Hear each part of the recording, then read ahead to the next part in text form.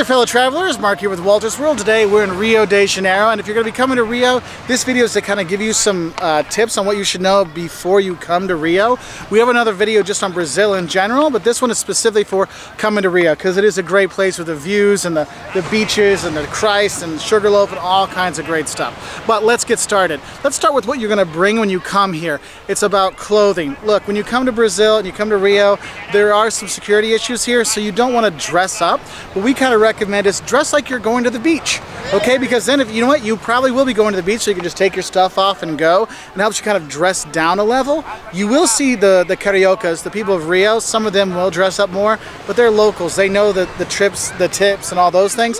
You don't. You're a tourist, okay? So dress down. So what you want to pack? Have your sunblock.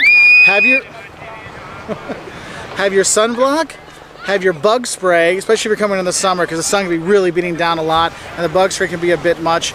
Also, you want to bring your patience when you come here because you're going to need a lot of time because things take a bit longer here. But also, bring some Havaianas. Bring your flip-flops, you know. Your old, you know, good old flip-flops used to have, you can get them here really cheap as well, no big deal. But make sure you pack those things.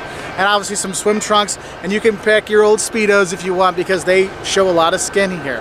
Now, when you fly into Rio, what you need to know is there's actually two airports. There's the one if you're flying from the US or abroad, usually you're coming into GIG, that's Galeão, that's what they kind of call it. That is anywhere from 35 minutes to 90 minutes outside of town, depending on traffic. Um, if you're flying within Brazil, you might fly into Galeão, the GIG one, or Santos Dumont, which is the one that's really downtown. It's a great one to fly into but there's not a lot of flights there uh, like there used to be. When you do come here, you're going to be looking for different hotels and stuff like that. There's a lot of hotels, there's a lot of hostels, there's a lot of variety in prices and location. Make sure when you're doing your research before you come, look for ones that are going to be in safer parts of town. Uh, we actually stay here in Leme when we come because it is a safer part. It's connected to Copacabana Beach, but it's a safer beach, more family friendly stuff. Granted, my kids are fighting, so I guess that's one of the dangerous things here. Um, but you want to look at that in your hotel, a couple things you should know. The toilet paper, you throw the toilet paper in the trash next to the toilet because the pipes here can't really take all the toilet paper. Also, don't expect to have a bath when you're here. Brazilians take showers, so you're gonna have showers all the time, not baths. Now, the next thing you will look at are the plugs when you're in the hotels. Now, in Brazil, there's a wide variety you might run into, but now they have official new plug. It's like a European plug with the two circle things, but it's got a middle circle thing. If you have a plug from Europe or an adapter for a European plug, that's what you're going to plug in with. But the electricity here actually runs the same level as the US, so that can be an issue. But if you have your phone, your laptop, your iPad, things like that, they already have that converter in their box. You can just plug it in, but you remember it's three, it's called an N plug. It's got three three plugs like this. Um, but sometimes if you're going to like an older hostel, you might actually see ones that actually have the US two flat things and two circle things at the same time. So just be ready for that. But your general safest bet, the two circle European plugs, okay? So another thing when you're here in Rio, you want to know where you're going to get money, what kind of money you're going to use. Here in Brazil, they use the real. Um, it comes into bills and coins. The bills, there's a 100, a 50, a 20, a 10, a 5, and a 2 real bill. Um, and then there's coins. There's a one real coin, a 50 centavo coin, 25 centavo coin, 10 and 5. You don't see the coins too much outside of the 25 and 50 cent piece and the one real piece.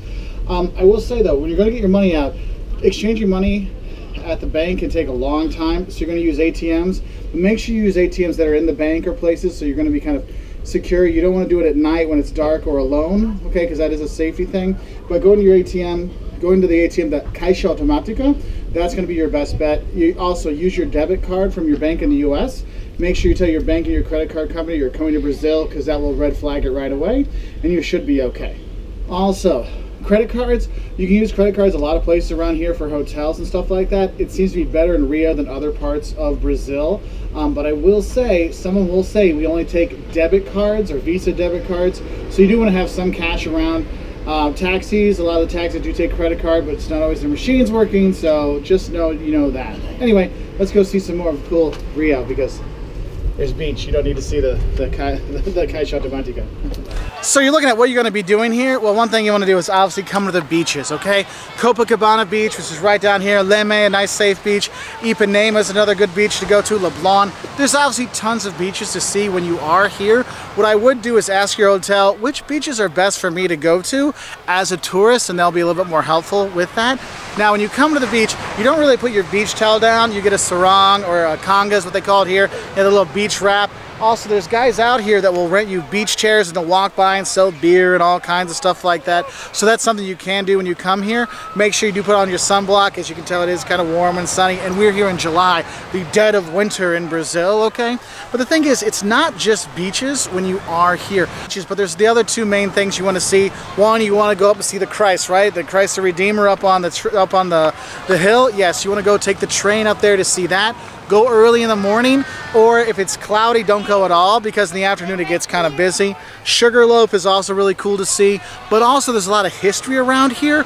You can go to the history museum you can go to the museum of modern art because this was the capital of brazil till 1960 the portuguese court actually came here in the 1800s so there's a lot of stuff to do here. And there's actually some good day trips.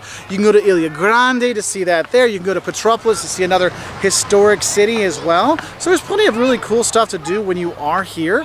Now, other things you should know when you come here is the boys are having a good time, but if you're a little bit older and you want to have good nightlife, there's plenty of bars and clubs and stuff to go to for a good time. Um, I will tell you though, here in Rio, there's not a lot of English spoken, so you want to make sure you know a little Portuguese, um, or if you're going to be taking taxis around, which I really recommend because the taxis are cheaper, and the bus and the metro sometimes aren't the safest, so you want to be careful with those. So just take a cheap taxi around, but write down where you want to go, or have your hotel write down where you want to go and where you're coming back to, so you can just give it to the taxi driver and you'll be okay because English not super popular here outside of the hotel staff. last thing I want to talk about are specific safety things for here in Rio. Like I talked about, um, it's not the safest place in the world, but it's not as bad as they, they say on, uh, online and stuff like that. Few easy things. Don't wear a lot of flashy jewelry. Don't bring them with you. Don't dress up really fancy because you're going to make yourself a target. Um, don't go to the beaches when it's dark. That's not a good idea. Or really early in the morning. You never know what's going to be out there. And the thing is, if someone's robbing you, just give it to them. Don't fight back. Don't worry about it. Just here you go. That's why when you're going out, leave your stuff in your hotel safe, your passports, your credit cards, stuff like that. Take out what you want or you're okay with losing for that day. And that's then you don't have to worry about it. Like, here you go, man, no big deal. And that's the thing is, you don't want to take the chances with it. If you're coming to the beach, just bring money for, for getting your beach chair and a few drinks, and you'll be fine. So be smart, just like you go anywhere else in the world. Obviously, the bigger sites, you're more likely to see pickpockets and stuff. But just be smart, you will have a great time. Brazil's a fantastic place. Rio is maravilhosa, you will really enjoy it, marvelous. So I hope that helps you out. So if you want to learn more about coming to Rio, 10 things that'll shock you about Rio, 10 things that'll shock you about Brazil, uh, 5 things you love and hate about here, Hand gestures you shouldn't use. Don't use the OK sign. That's bad. Use thumbs up all the time. Check us out on our website at woltersworld.com. We're also on Twitter, Facebook, Instagram, YouTube, and we really appreciate your likes, subscriptions, and we hope you have a great time here in Rio because it is maravilloso. So, adios from Rio. Bye.